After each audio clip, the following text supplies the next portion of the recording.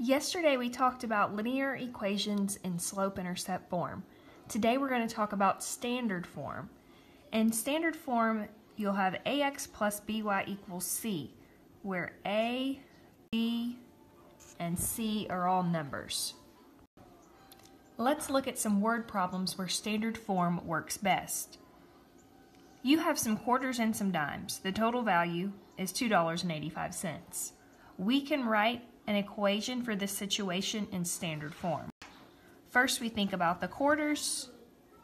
Quarters are worth 25 cents. Then we have the dimes.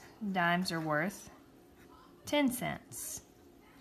And altogether, we have a value of $2.85. It's important to know that there's not only one right answer for Q and D here. There are lots of combinations that would work. Just like when we graphed yesterday, lots of values work in the equation. That's why we graph a line for these and we can see all the values on the graph. Let's look at this situation. You are shopping for balloons and flowers and you have $30 to spend. Balloons are $3 and flowers are $2. So let's try to write an equation to represent this relationship. Okay, we have balloons are $3. So this time let's call the number of balloons we buy X. And the number of flowers we buy will be Y. Flowers are $2 each, so we do 2 times Y. Altogether, we want to spend $30.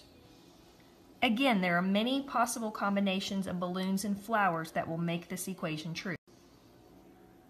Now let's talk about how we would graph this equation.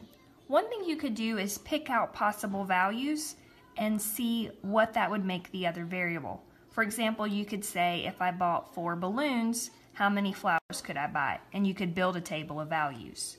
A quicker way to graph this equation is to find the two intercepts. First, let's find the x-intercept by plugging in a 0 for y.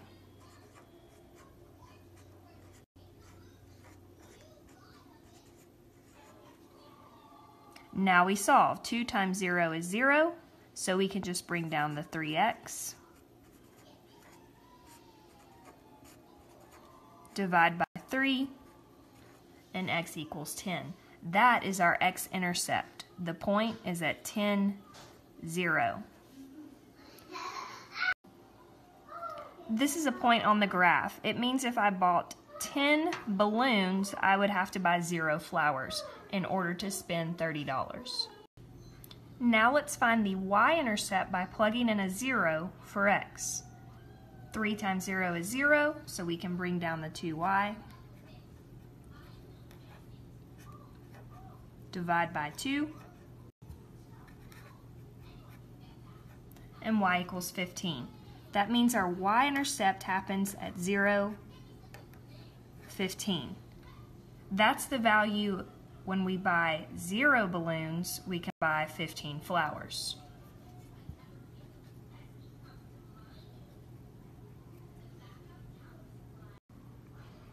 So we plugged in a zero for y to find the x-intercept, and we plugged in a zero for x to find the y-intercept. You might also notice if you just cover up a term, you can probably do mental math to figure out that the y-intercept is 15 and the x-intercept is 10. Now let's see how we can use these to graph this equation. If I go to my x-intercept, that's on the x-axis, and I plot a point here at 10, 0, and then I do my y-intercept on the y-axis, 0, 15. Now I have two points, and whenever you have two points for a linear graph, you can connect them to make your line.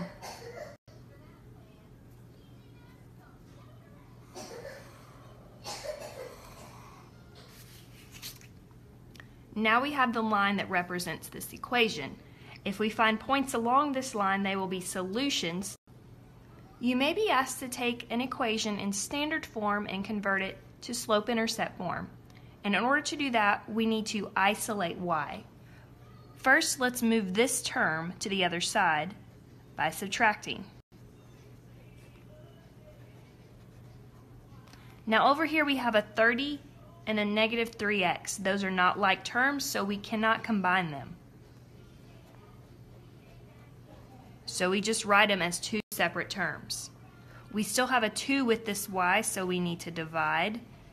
Now be sure if you divide this side that everything on the other side gets divided. So we have y equals negative 3 over 2x plus 15. Now our equation is in the format of y equals mx plus b. Let's see how this equation relates to the graph. The y-intercept is b, so we should have a y-intercept at 15, and we do. The slope is negative 3 over 2, meaning a negative 3 for the rise and 2 is the run. If we count down 3 and run 2, we should be on the line. We can continue doing this to find several points along this line that we drew.